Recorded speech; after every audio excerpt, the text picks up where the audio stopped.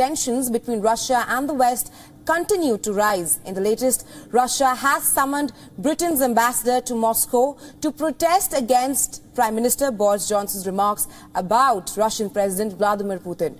Russia told the envoy that it firmly opposed Johnson's openly offensive comments.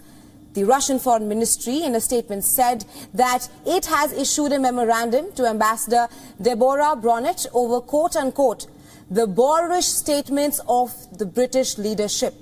This came after the UK Prime Minister Boris Johnson said that Putin would not have invaded Ukraine had he been a woman. Johnson called the invasion of Ukraine crazy and adding that it was a perfect example of toxic masculinity. This comes as a unique take on the war that has led to the worst violence Europe has seen since the World War II. In his comments, the British minister called for more women in positions of power. Listen in. Uh, you need more women in positions of power.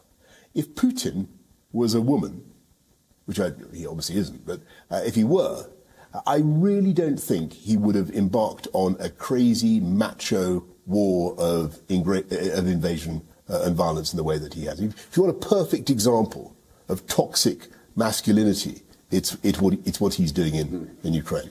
Well, this is not the first time that something of this sort has been said to Putin.